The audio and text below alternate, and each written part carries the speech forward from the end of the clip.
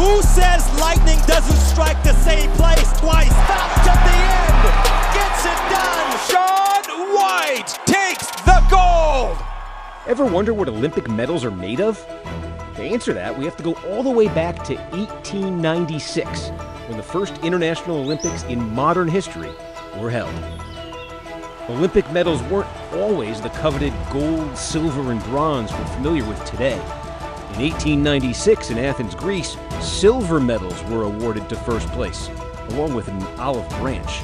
Second place received bronze medals and a laurel branch. The tradition of awarding gold, silver, and bronze was first introduced eight years later at the 1904 Games in St. Louis, Missouri. So, what are Olympic and Paralympic medals made out of today? Contrary to its name, the gold medal is actually made up of mostly silver. Each gold medal contains only about 6 grams of pure gold, which encases the exterior of the medal. Silver medals are made out of pure silver. Bronze medals are made from roughly 95% copper and 5% zinc.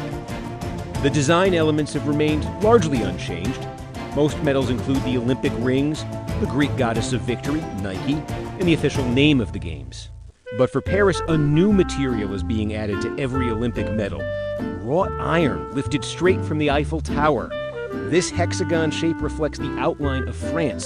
The Paris Mint is manufacturing 5,084 medals, each with a little piece of the city's great monument. So, what is a gold medal worth?